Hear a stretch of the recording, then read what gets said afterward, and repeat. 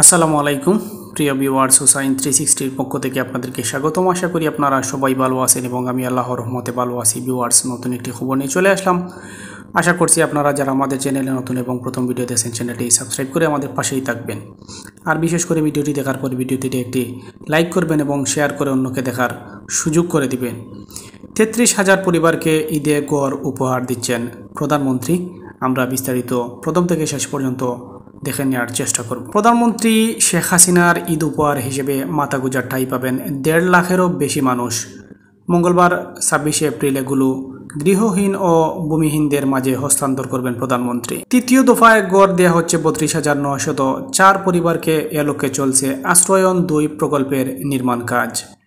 প্রতিটি গড় নির্মাণে ব্যয় করা হয়েছে দুই লক্ষ উনসত্তর হাজার পাঁচশত টাকা।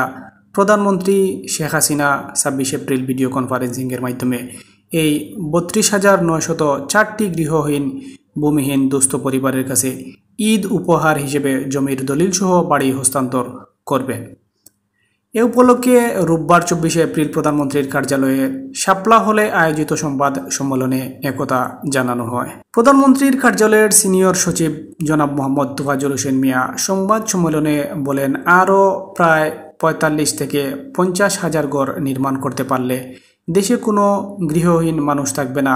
খাস জমির পাশাপাশি সরকার নিজে জমি কিনে এসব ঘর নির্মাণ করে উপহার হিসেবে দিচ্ছে। এই প্রকল্প নির্মাণে প্রায় তিন হাজার কোটি টাকার পাঁচ হাজার পাঁচশো একর জমি দখলমুক্ত করে ভূমিহীনদের জন্য ঠিকানা নির্মাণ করে দেয়া হয়েছে।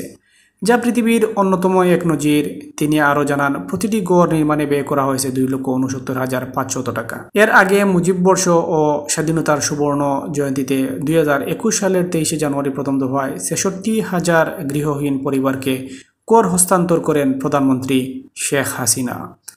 ওই বছরেরই বিশ জুন দ্বিতীয় দফায় আরও তেপ্পান্ন হাজার তিনশত চল্লিশ ভূমিহীন গৃহহীন পরিবারকে গড় উপহার দেয়া হয়। উপহারের গড়ের প্রতিটিতে রয়েছে দুটি করে শয়নকক্ষ, একটি রান্নাঘর, একটি টয়লেট ও একটি লম্বা বারান্দা। গড়ের নকশা পছন্দ করেছেন প্রধানমন্ত্রী শেখ হাসিনা নিজেই। ভিউয়ার্স, এই ছিল আজকের খবর। আশা করছি আপনারা যারা ভিডিওটি দেখছেন, ভিডিওটিতে একটি লাইক করবেন আর শেয়ার করে অন্যকে দেখার সুযোগ করে দিবেন। সবাই ভালো থাকুন, সুস্থ থাকুন। আসসালামু আলাইকুম।